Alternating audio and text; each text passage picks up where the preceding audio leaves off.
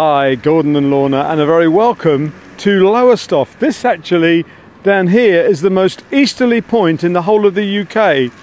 And with all the easterly winds we've had just recently, it's the first place to get that east wind. It's a bit of a north wind coming down the back of my neck right now. Here is the South Pier, and here we have this uh, statue, which I understand is all part of declaring it being the most easterly point.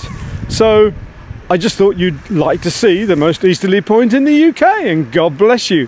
One important thing do you realise that the Hebridean revival, which happened up there in Scotland, came down here to this very busy fishing port of Lowestoft. It used to be very, very busy. I remember in the 50s my mother coming here, and uh, then we had herrings which were shipped by rail back to our house in, uh, in Harrow.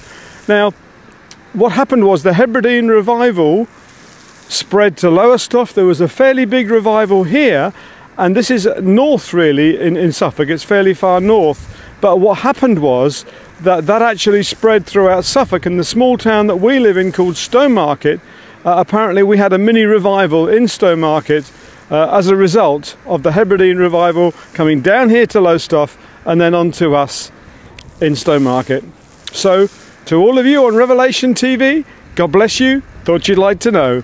By the way, Jan is here. She's on the camera. Next time, perhaps I'll be on the camera and Jan to, to camera. God bless you then. Bye bye.